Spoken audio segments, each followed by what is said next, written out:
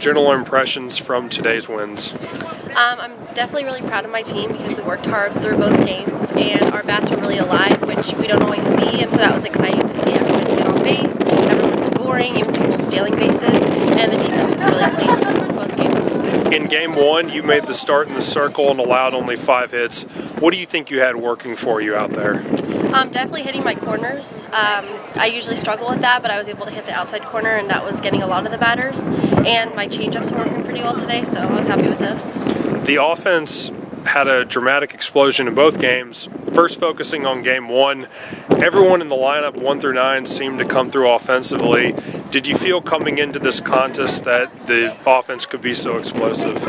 I did, just because we've all been working really hard on our hitting, and I know that every single one of us can get on base if we're in there.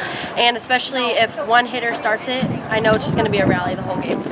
Talk about what your approach was and your mindset was coming into the first game offensively.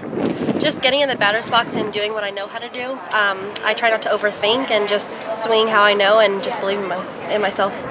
You and Macy McIntosh really seemed to be in a groove in game one. Talk about the communication that was going on between you two and the great pitch sequences that you were able to come up with.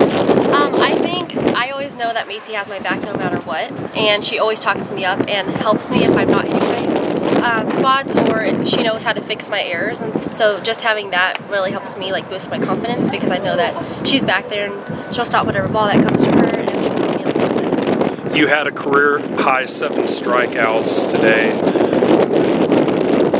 How does such a dominant performance in the circle, how is that a confidence boost for you?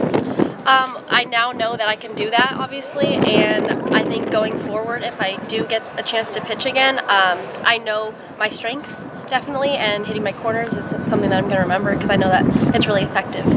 Your teammate Mariah Montoya in game two, what did you see that she had working for her in the circle? Her change, her changeups are working really well, and her rise ball. I noticed a lot of girls are having problems with that pitch.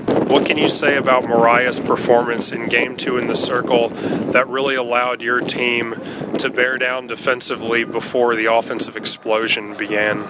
Well, she was causing a lot of ground balls and pop flies, which are typically easy outs, and so just having them hit those kind of balls at us were easy to make the outs. And we had her back. A quick turnaround before two AMC games on Saturday against St. Louis Pharmacy.